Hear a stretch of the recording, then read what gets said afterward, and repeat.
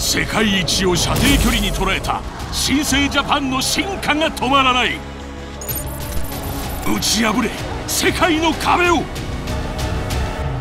2022年 UCI トラック世界選手権フランスサンカンタン・アン・イブリーヌ大会。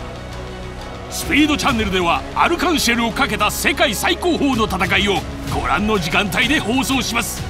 お見逃しなく。